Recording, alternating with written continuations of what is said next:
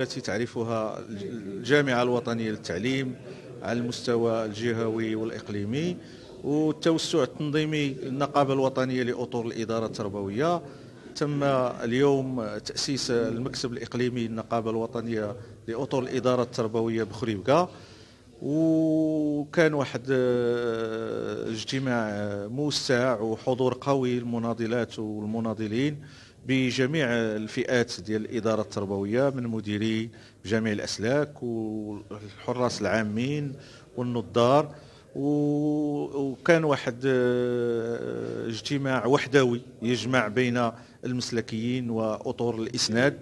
وتم التطرق للملف المطلبي وأفق تحقيق مسألة الإطار وتبعات هذا الإطار وكانت محطة لتدارس مجموعة ديال النقاط التي تهم الإدارة التربوية لا على مستوى التشريع المدرسي الخاص بالإدارة التربوية لا على مسألة مسألة آه، التعويضات وكثرة المهام.